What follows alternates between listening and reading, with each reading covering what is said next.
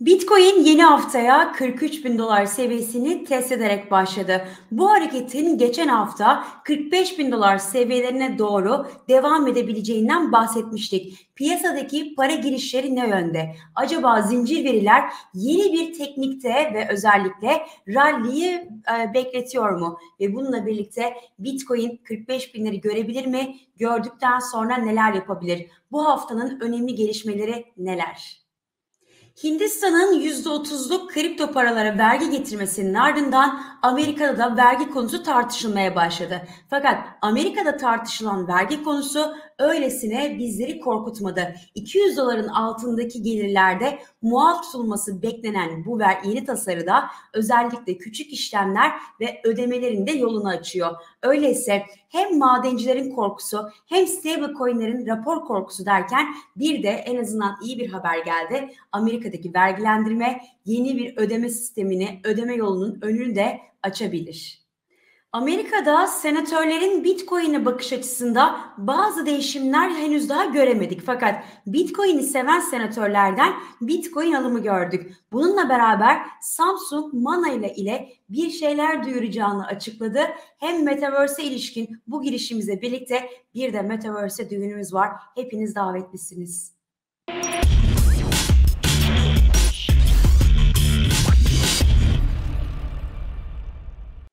Herkese merhabalar, iyi haftalar. Tarihlerimiz 7 Şubat günlerden pazartesi. Çok fresh bir haftaya başlıyoruz çünkü Bitcoin'in yükselmesiyle kripto para yatırımcıları da moral buldu. Sadece kripto paralardan ziyade biraz da risk iştahına baktığımızda aslında riskli varlıklara yönelik akışın devam ettiğini, geçen haftadan o devralınan risk bayrağının bu haftada devam ederek yine güzel bir başlangıç yaptığımızı söyleyebiliriz. Ancak kripto paraları etkileyen bazı gelişmeler bu hafta başlayacak. O nedenle hem biraz endişelerimiz var hem de açıkçası zincir verilerine baktığımızda bu rally devam eder mi şeklinde soru işaretlerimiz var.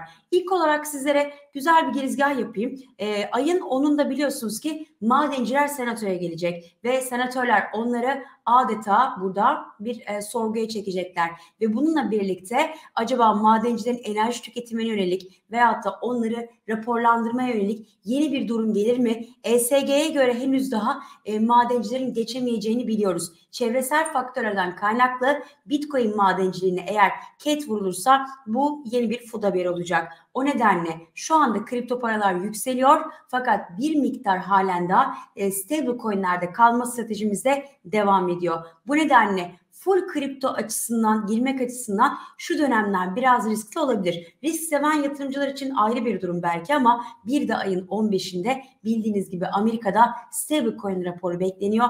O nedenle hem ayın 10'u hem de ayın 15'i yani önümüzdeki bir, bir buçuk hafta biraz daha gri alanda kalabilir. Bu nedenle risk sevmeyen yatırımcılar full kriptoda olmak yerine bir kısım e, portföyünde bir kısmı Tether ve hatta diğer stablecoin'ler cinsinden ayırsa çok da fena olmaz. Çünkü olası yeni düşüşler gelirse bir hareket edecek alanınız olur. İki en azından coinler arası geçebilecek şekilde bir e, nefes alanınız olur.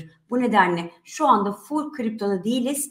Evet kriptodayız fakat portföyün bir kısmını stablecoin'de ayırmakta yarar var diyerek bugünün bültenini başlatalım. İlk olarak global endekslere baktığımızda cuma günkü kapanışların üzerine artık Çinliler de nihayet tatilden geldiler. Çünkü bu durumu kıskanmaya başlamıştık ve baktığımızda Çinliler gelir gelmez %2 ile ayağının tozuyla hemen gittiler endekslere koştular. Ve bununla birlikte Japonya tarafında ufak bir satış olsa da şu anda sirayet eden riskli e, durumun e, olumlu tarafta olduğunu söyleyebiliriz. Burada VIX'in gerilemesi, volatilite endeksinin gerilemesi riskli varlıklara yönelik iştahı artırıyor. Avrupa'da açılış öncesi gayet tabii artıda devam ederken bugün küresel piyasalardaki durumun e, risk iştahının olumlu olduğunu ve bunun da kripto paralara olumlu yansıyabileceğini düşünüyoruz. Peki bu haftanın ekonomik takvimine baktığımızda ilk olarak bugün ECB Başkanı Lagarde'ın konuşmasını görüyoruz. Hatırlayacak olursanız Lagarde, Powell enflasyon konusunda U dönüşü yapsa dahi koca yürekli başkan geçici ifadesinden dönmemiş ve bir süreliğine ısrarcı olmuştu enflasyon konusunda. Fakat geçen haftaki ECB toplantısını ne gördük? Lagarde ve diğer komitedeki üyeler enflasyondan korkuyor ve bu anlamda para politikasında hemen hızlı aksiyon almak istiyoruz demişlerdi. İlk e, toplantıyı pas geçtiler. Muhtemelen burada Fed'in ardından da burada bir e, faiz artışına gidebilirler. Geçiyorum haftanın devamına. Perşembe günü Amerika'dan en önemli veri olan tüfeler gelecek. Aylık bazdaki artış hızının bir miktar gevşemesi bekleniyor. Fakat diğer tarafta Cuma günü de yine İngiltere'den büyüme verileri ve Fed'in 6 ayda bir yayınlanan e, Fed para politikası raporu gelecek. Bu raporla birlikte kongreye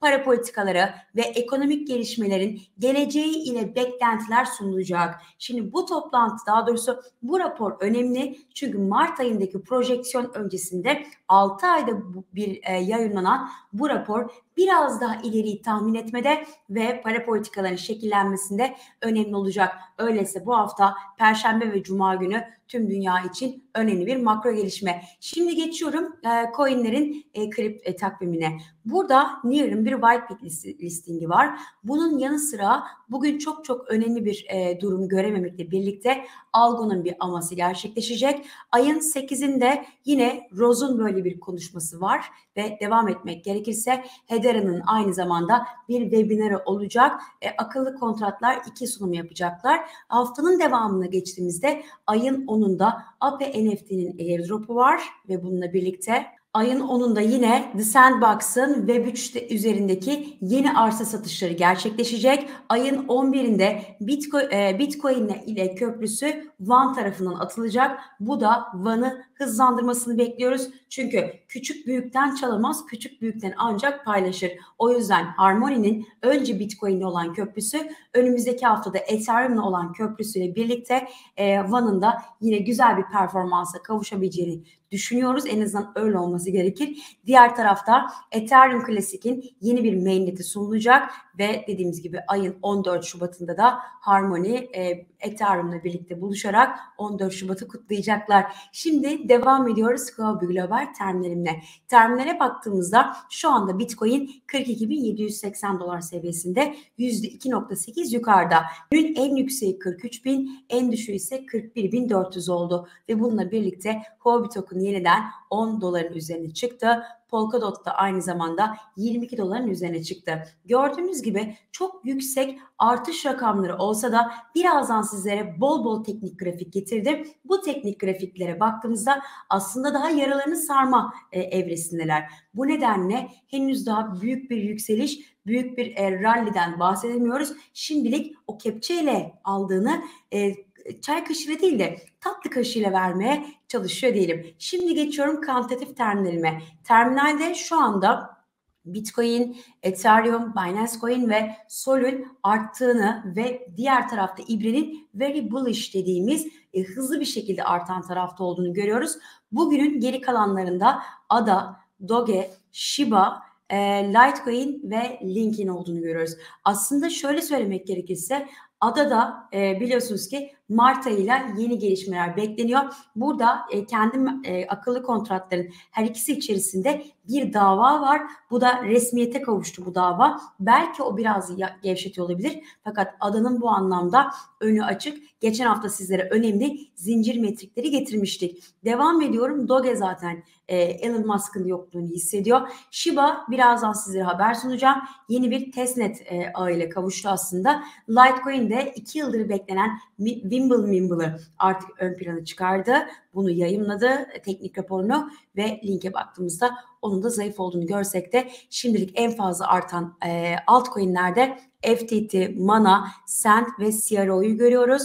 Daily negatif olanlarda ise yine önemli e, önemli bir coin'in olduğunu söyleyemeyiz. Şimdi e, geçiyorum bir yandan da burada grafiksel gösterime. Grafiksel gösterimde artık şuradaki şeytan çemberinden çıkmış bulunmaktayız ve özellikle Ripple'ın da hareketliliğini görüyoruz. Ripple için de şunu söyleyebilirim. Haberlere e, almadım fakat ayın 17'sinde Ripple'ın sahipleri ve işte Jeff McCaleb ile e, Garling House'un e, ne yapılacak? Özel e-mailleri sunulacak. Yani Ripple açısından burası önemli bir tarih olacak. Fakat o Ripple'ın e, bir de yatırımcıların açtığı davada bir e, avukat var. O avukat dedi ki buradan hiçbir şey çıkmaz dedi. Onun da etkisiyle Ripple'ın hareketlendiğini görüyoruz. Peki günün makro e, fiyatlamalarına geçtiğimizde Gördüğünüz gibi Amerikan 10 yıllıkları 1.90'a kadar çıktı. Fakat hiç kripto paralar dinlemiyor. Çünkü e, food haberleri geldiğinde ancak o zaman bir de bunun üzerine koyarak aşağıya çekiyor. Dolar endeksi 95.5'ta, dolar Türk lirası 13.50 seviyesinde, e, euro dolar e, 1.14'lere kadar yükseldi. Altında 1810'larda stabil seyrini koruyor ve toplam piyasa değeri tekrardan e, 1.93 trilyon dolara çıktı.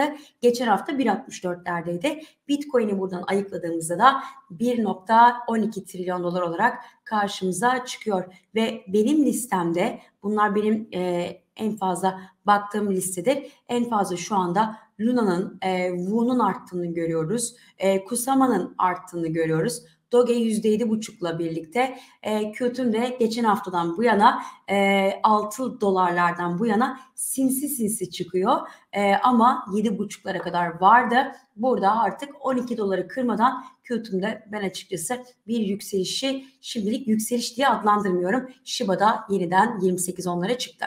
Şimdi geçiyorum korku ve açgözlülük endeksine. Geçen hafta extremely fear dediğimiz aşırı bir korku e, hakimdi. Özellikle geçen hafta bu onlara kadar çıkmıştı. Fakat şimdi şöyle e, gösterelim. Son 3 aylık duruma geçtiğimizde bakın ne yapmışız? İşte e, Aralık ayında, Ocak ayında ve Ocağın sonlarında dibi görmüştük. Biz burada hani Warren Buffett'ı çok ezberletmiştik. Herkes korkarken sen aç gözlü ol, herkes aç gözlüyken sen kork diye. Kantatif analizde bunu şu şekilde söyler e, bir şey yani bir gösterge sürekli dipte veyahut da sürekli zirvede kalamaz. Dönmek zorundaydı der. E tabi buralarda söylemiştik ama bayağı bizi oyaladı. Fakat neticede artık korku ve açgözlükte toparlanmaya başladık. Hadi bir de bunu doğrulatalım. Çünkü ben asla hiçbir zaman tanıyan bile hiçbir zaman tek göstergeye bakarak burada bir konuşma yapmam. Argümanlarımı birbiriyle çatıştırırım. O çatışmadan da kendime bilgi sağlarım. Şimdi geçiyoruz hassasiyete. Hassasiyette de bakın şu yani turuncu gördüğünüz hassasiyet de çok sert bir şekilde çıktı. Geçen hafta 0.02'lere kadar yükselen hassasiyet şu anda 0.40'larda bulunuyor. Ve devam ediyorum. İşte Bitcoin'in e, Reddit'teki, Twitter'daki, Bitcoin Talk'taki konuşmalarında da bir düzelme var. Biz buna biraz da Google Trends'ten aslında bakıyoruz ama hepsinin karışımı diye baktığımızda yine Bitcoin'in de üçüncü doğrulatmama geçiyorum. Korku yükseliyor, hassasiyet yükseliyor ve e, korku açgözlülük endeksi yükseliyor daha doğrusu. Ve ne yapılıyor? Forumlardaki Bitcoin konuşması devam yükselerek devam ediyor. Bu da Bitcoin'in popülaritesini e, hareketlendiriyor. Toplam e, DeFi'larda kilitlenen miktar 219 milyar dolara çıktı. Bu değer artışıyla birlikteydi. Fakat değer artışı hepsinde var. Fakat sizlere başka bir şey göstereceğim. Örneğin Solano'nun şuradaki artış hızına bakın. E, grafikten de birbirleriyle karşılaştırabilirsiniz. Bir de AVAX'ın artış hızına bakın. Yani bu hareketlilikte AVAX'ın sanki biraz daha yükselme boyutunun artışta olduğunu söyleyebiliriz. İsteyenler hepsini inceleyebilir. Hepsini inceledim. Phantom da dahil olmak üzere şu anda AVAX'ın çok daha yüksek bir eğimle gittiğini görüyoruz. Bu nedenle AVAX bu yükselişte daha da hareketli olabilir. Ve geçiyorum e, haberlerime. Şimdi e, Amerika'da senatör Ted Cruz dedi ki ben 50 bin dolara kadar Bitcoin'i e, alırım dedi ve bununla birlikte Texas'ın da aynı zamanda kripto paralar konusunda eğiliminin olduğunu ve e, Bitcoin madencilerin buraya gelmesi açısından orayı bir vaha olarak gördüğünü ve bununla da gurur duyduğunu söyledi. Yani Amerika aslında hepten ikiye bölünmüş durumda. Zaten temsilciler meclisi ve senato da ikiye bölünmüş durumda. O nedenle Amerika'da şimdilik kötü haber gibi algılansa da ayın 10'u ve 15'i bakalım görelim neler çıkacak. Halen de onun belirsizliği devam ediyor. Şimdi Shibarium dediğimiz Shiba ne yapacak? Ee, bir kendi testnet e, ağını başlatacak. Bu ağında ikinci testneti yayınlanacak. O nedenle Shiba'nın da çok fazla hareketlendiğini görüyoruz ve bununla birlikte bu katman 2 ölçeklendirmeye e, ölç katman 2 olacak. Katman 2 de ölçeklendirme sorununa çözüm getiren bir evre. O anlamda Shibarium bakalım Shiba fiyatına iyi geldi. Şimdilik hareketlerini sürüyoruz. Dol gecelerde Shiba'yı izliyor diyelim. Şimdi devam ediyorum Amerika'daki bu vergilendirme tasarısıyla alakalı. Yeni yasa 200 doların altındaki kazançların kripto vergisinden muaf tutulmasını sağlıyor. Daha önce de İngiltere'de hatırlayacak olursanız kapatılmayan e, pozisyonlarda vergi alınmaması e, yani önerilmişti. Şimdi ise şöyle söyleyeyim. 200 doların altındaki kazançlarda eğer kripto vergisi alınmazsa bu aynı zamanda neye avantaj kılıyor? 200 doların altındaki işlemlerde vergi konusunda bir. ikinci olarak alışverişlerde de vergi muafiyeti getirebilir. Direkt olarak aklımıza bu geldi. O anlamda kripto paralar şu anda iyi haberler almayı sürdürüyor. Ve devam ediyorum. Samsung yeni Metaverse dünyasını tanıttı ve Mana ile bir işbirliği içerisinde gideriz dedi. Bu da Mana fiyatını hareketlendirirken diğer tarafta Excel'in de fiyatlarının artması bu anlamda yaz aylarından bu yana e, yani Eylül-Ekim'den bu yana durgun kalan piyasaya yeni bir e, dimah kazandırdı diyelim. Tabii e, burada akıllanmayanlar olacak ki bir de demişler ki biz Metaverse'de evlenelim demişler ve Decentraland'de ilk Metaverse düğünü yapılıyor. Daha öncesinde bir e, sandbox olması lazım. Bir düğün gerçekleşmişti. Hatta bir tane de düğünde de kavga çıkmıştı. Gelin ve damadın arkadaşları en son birbirlerine şişe kırıyorlardı. E, dolayısıyla e, bilemiyorum artık diyelim. Şimdi geçiyorum aslında ilk başta stablecoin'lere. Stablecoin'ler her ne kadar piyasada e, sokuldu. Fakat bu stablecoin'lerin giriş hızında bir yavaşlama var. Neye göre? Ocağın sonuna göre. Ve bununla birlikte stablecoin'ler yavaşlamış olsa da şu anda e, stablecoin rezervleri de e, yeni rekora geçti. Ufak da olsa bir rezerv azalması var. Bu muhtemelen Bitcoin'in e, daha doğrusu stablecoin'lerin altlara geçmesinden kaynaklanıyor olabilir. Bir de e, Bakalım bir stablecoin exchange ratio'ya. Çünkü burası bize e, ne kadar stablecoin'in e, kripto paraya döndüğünü daha doğrusu bitcoin'e döndüğünü gösteriyor. Şimdi şöyle bir e, baktığımızda e, price'ı kapattığımızda hafif de olsa bir hareketlenme söz konusu. Bir de burada miners position indeksi göstereceğim sizlere. Çünkü halen daha madencilerin satışta olduğunu görüyoruz. Bakalım son durumdaki e, durumda e, son durumdaki durumda minus position index 0. eksi 0.5 yani sıfırın altında kalması madencilerin halen daha satışta olduğunu bize gösteriyor. Zaten şöyle sıfıra baktığımızda madencilerin e, çok çok uzun bir süredir e, satışta olduğunu görüyoruz. Ancak bu anlamda kripto paralarda temel bir e, yükseliş veya da uzun soluklu bir rally için madencilerin satmaması gerekiyor. Bu aslında biraz madencilerin piyasaya bakış açısını da gösteriyor. Yani ben maliyetimi kurtaramam şeklindeki görüşleri madencileri burada biraz da satışa itiyor. Şimdi devam ediyorum bir yandan da. Şimdi spot hacimde aslında çok büyük bir artış yok. Fakat burada öyleyse bir de derivatif hacme bakmak lazım. Yani türev piyasanın hacmi de e, yine aynı şekilde artışta aslında diyebiliriz ve buradaki artışta da e, alım pozisyonlarının, alım kontratlarının açıldığını fakat henüz daha buranın tam anlamıyla desteklediğini söyleyemeyiz. Ve bir de sizlere adresleri göstereceğim. Daha önce bir takipçimize söz vermiştik ve her artık yayınımıza koymaya başladık. Gördüğünüz gibi Bitcoin'in yükselişine bu küçük eller çok da eşlik etmemiş. Yani spot tarafta çok büyük bir alım gerçekleşmemiş ancak ve ancak burada e, yaklaşık işte e, ufak da olsa büyük en büyük hesapta alış var ve bununla birlikte marketin top ve bottom dediğimiz zirve ve e, diplerine baktığımızda Reservix şu anda yükselmeye başladı. Zaten e, yeşil bölgede olmaları da onların iskontolu olduğunu bu fiyat seviyelerinden piyasanın e, aslında piy alabiliriz dediğini gösteriyor. Şimdi bir de Z-Score'a bakalım. Z-Score da aynı zamanda yine birin üzerine çıktı ve market value, realized value da bu yükselişi şimdilik destekliyor diyebiliriz. Son olarak da bir de hafta başı olduğu için şöyle bir zincir verileri okuyalım istedim.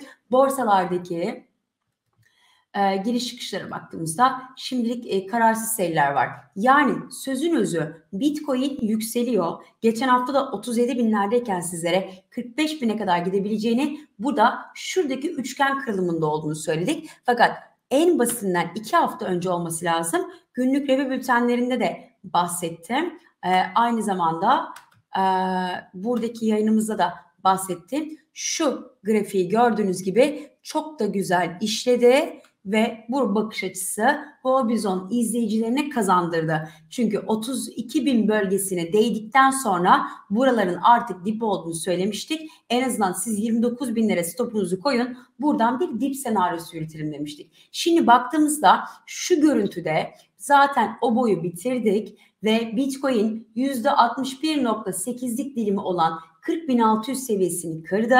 E, 200 günlük ortalamam da 49 binlerden geçiyor. Yani kanalın orta bandından geçiyor ve e, Fibonacci'nin şu anda tamam mı devam mı seviyesi de 45 binden geçiyor. Öyleyse burada biraz daha kısa vadeli davranmak lazım. Çünkü Amerika'dan gelecek olan bu e, haber akışının ne yöre evrileceğini bilmiyoruz. Ben burada sizlere alın, satın, ekonomiye can verin asla demem. Sizin oradaki alıp sattığınızdan benim hiçbir gelirim de yok bunu da söyleyeyim. Ama biraz daha stable coin'de durup yani %60 kripto, %70 kripto, %40, %30 stable coin'de durup en azından şu 45 bindeki görüntüyü okumak veyahut da 49 binlerdeki görüntüyü okumak ve bir yandan da ayın 10'u ve ayın 15'indeki bu senatodaki e, Bitcoin haterlarının ağzından çıkacaklara bakmak lazım. Şimdilik bu üçgen bizi 45 bine doğru hedefliyor ve devam etmek gerekirse indikatörlerde artıya geçmiş durumda.